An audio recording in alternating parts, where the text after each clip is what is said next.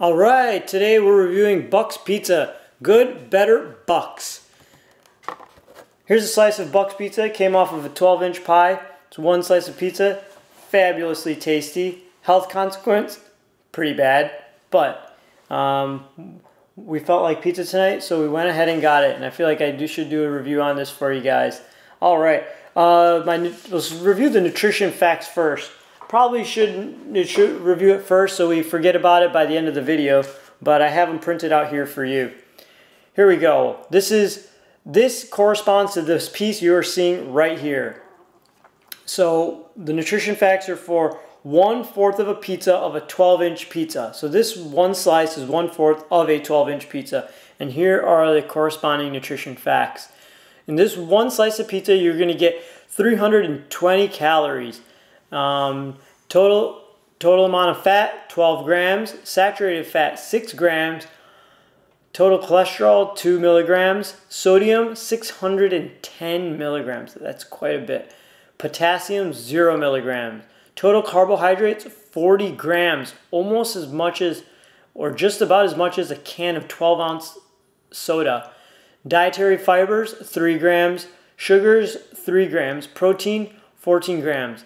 Vitamin A, 10% of your daily value. Calcium, 20% of your daily value. Iron, 15% of your daily value.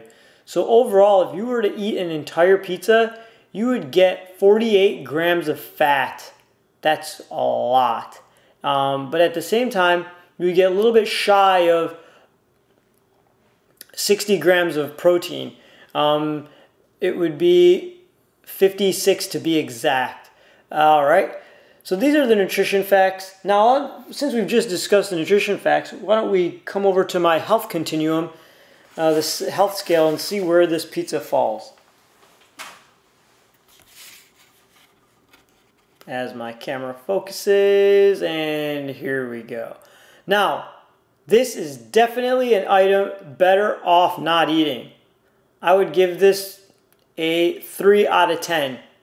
And that's obviously because there is some nutritional value in the protein you get, maybe the calcium, but the sodium and the carbohydrate consequence, as well as the fat consequence, do not warrant the 14 grams of protein. If we look back at our nutrition facts, you can quickly see that total fat 12 grams with 40 carb 40 grams of carbs and that too these aren't probably the best carbs. These are carbs from refined dough and wheat. Um, it doesn't quite justify the 14 grams of protein you get and that too the protein probably from the cheese. So um, again this gets a three. This is definitely a food item you're better off not eating than eating. All right that's what the health consequence um, the, the pizza did come in a nice pizza box and it was warm and tasty, well packaged when I received it. It looks like typical pizza. It's thinner than your average Chicago deep dish. It's about it's kind of about the thickness of a tombstone pizza. You can see right there. Um, so not not too bad. It smells smells just like pizza. It smells kind of not quite as good as let's say a fresh home cooked pizza. Doesn't quite smell like a frozen pizza either. I'd say it smells kind of like a Chuck E. Cheese or a Little Caesars type pizza. Um, it feels kind of like pizza would. This one, although has gotten a little cold, it's a little bit more stiff and dry. And then let me see what it tastes like so I can tell you guys.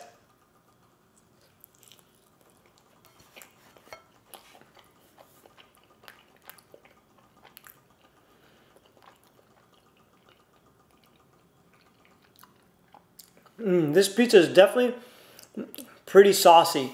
And the sauce is not quite, it's a little bit sweeter than tomato sauce. Um, I would say compared to Papa John's, this sauce is a little bit sweeter. Um, and compared to some something say like Pizza Hut is also a little bit sweeter. Pizza Hut is a little bit spicier of a sauce. Um, the dough is pretty typical and standard of uh, pizza you would get. And the cheese, the cheese is not particularly fantastic. It's not particularly terrible either. It's definitely better than something you get off of a frozen pizza like a Tombstone, but definitely not on the same level of a Pizza Hut or a Papa John's. Overall, I'd give this health wise 3 out of 10, but taste wise, I'd give it probably a 6 out of 10 for pizza. I've definitely had better pizza, and it's definitely not the worst, and it's definitely better than average, I would say. Um, my favorite way I like to eat pizza is I like to eat pizza just right when it's warm, and I usually like to have a side of salad with balsamic vinegar. Um, everybody will have it differently. Um, and most people usually have different toppings on there. I just like straight cheese pizza. Anyways, thanks for watching.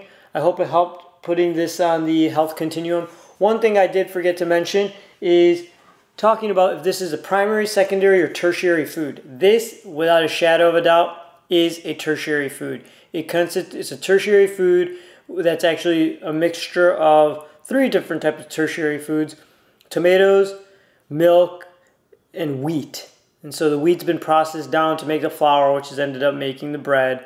The cheese has been processed, um, milk, I'm sorry, to make the cheese. The wheat's been processed into making the dough, and tomatoes have been processed into making the sauce. And I'm sure there are tons and tons of additives, although I couldn't find the specific ingredient list for this item. All right, thanks for watching the review. I hope this helped you um, make better health, make better uh, food choices. And if you liked it, please subscribe. Put the thumbs up if you like pizza. Um, and if you like the review, obviously also. And hope to see you on the next one. Thanks. Bye-bye.